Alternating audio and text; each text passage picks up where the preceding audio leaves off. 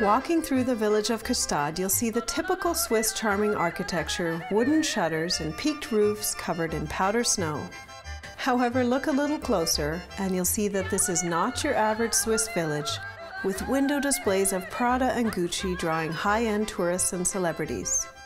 However, the real reason they come here is to enjoy the Gstaad experience, the skiing, dining, and culture, without the pressures of paparazzi.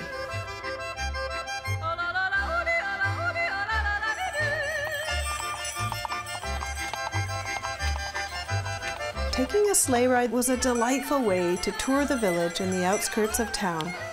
Even a little exciting as the roads became narrower and steeper. I wasn't sure if horse-drawn sleighs were supposed to fishtail.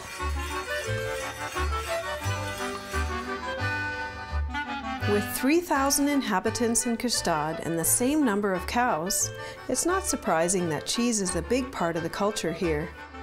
Local farmers produce the Hobelkäse cheese, which is stored in vast quantities for up to three years. I've never seen anything like it.